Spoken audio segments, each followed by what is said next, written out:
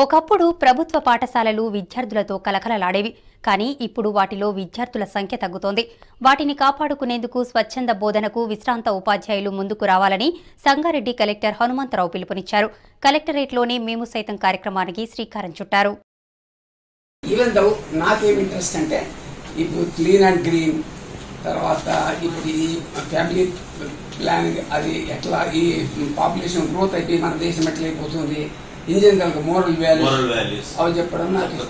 నాకు అదృష్టం కలిసిందంటే anti police list అని ఇప్పుడు డాక్టర్ పురుషోత్తం రెడ్డి అంటారు.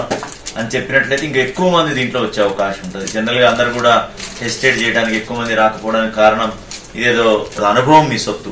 అది ఇంకా మే ఎవరైతే ఆరోగ్యంగా ఉన్నారో ఇంకా మన పిల్లలకి విద్యార్థులకి సమాజానికి అందించాల్సిన బాధ్యత ఉంది. మీరందరూ కూడా ముందుకు వచ్చినందుకు మీ అందరు కూడా పేరు పేరున థ్యాంక్స్ చెప్తూ డెఫినెట్గా డిఓ గారు చెప్పినట్టుగా మరి మనం వన్ మంత్ టూ మంత్స్ లోనో మనం ఒకసారి రివ్యూ పెట్టుకొని ఆ స్కూల్ సమస్యలు తర్వాత ఇతరత్ర ఇంకెట్లా ముందుకు పోదామని కూడా ఆలోచన చేద్దాం. పునర్ పునర్దశ పునర్వైభవం వచ్చే విధంగా చేసే విధంగా మనందరం ప్రయత్నం చేద్దాం. డెఫినెట్గా ఇంగ్లీష్ మీడియం ఉండాల్సిందే. అదంతా కూడా ఆల్రెడీ స్టార్ట్ అయింది మనకి. ఆ ఇంగ్లీష్ మీడియం చదువుతూ ఆ యొక్క స్కిల్స్ వాళ్ళందరూ కూడా నేర్పిస్తూ చేయాల్సిన అవసరం ఉంది. అంగన్వాడీ స్కూల్స్ కూడా బేసిక్ ఇంగ్లీష్ అనేది స్టార్ట్ అయింది కాబట్టి అదొక బేస్ అవుతుంది.